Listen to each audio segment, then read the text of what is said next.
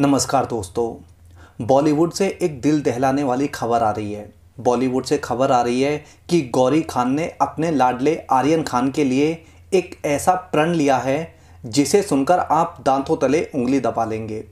दरअसल, गौरी खान ने कसम खाई है कि जब तक उसका नशेड़ी बेटा जेल से बाहर नहीं आ जाएगा, तब तक वह चीनी और शुगर से बनी हुई कोई भी स्वीट्स नहीं खाएगी।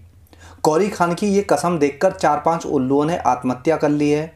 दोस्तों, ये इन नशेड़ियों का पीआर है जो ऐसी बातों को भी ब्रेकिंग न्यूज़ बना देते हैं।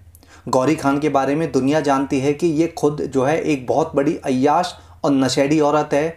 देश ही नहीं, बल्कि देश के बाहर भी। कई बार उसके पास से ड्रग्स बरामद हो चुका है। लेकिन अब बेटे के अरेस्ट होने पर यह ऐसे रिएक्ट कर रही है जैसे यह कितनी बड़ी ज़्यादा दुखी है। शाहरुख खान का पूरा परिवार ड्रग्स लेता है और बेटे ने ड्रग्स ली तो इसमें कोई हैरानी की बात नहीं है। कल जेल से भी जो है एक खबर आ रही थी कि कल आर्यन खान और गौरी खान ने जो है वीडियो कॉल पर 10 मिनट बात की। यह 10 मिनट बात करने के लिए क्या कोर्ट से परमिशन ली गई थी? या जेलर साहब ने जो है अपनी तरफ़ से शाहरुख खान को ये छूट दी? ये एक जाँच का विषय है। आर्यन खान अगले पाँच दिन जेल में रहेगा और तब तक उसे जेल का ही खाना खाना पड़ेगा। आर्यन के नशेड़ी पिता शाहरुख खान ने बहुत ज़ोर लगाया कि वह आर्यन के लिए घर से खाने की परमिशन ले ले, लेकिन ऐसा हो नहीं पाया।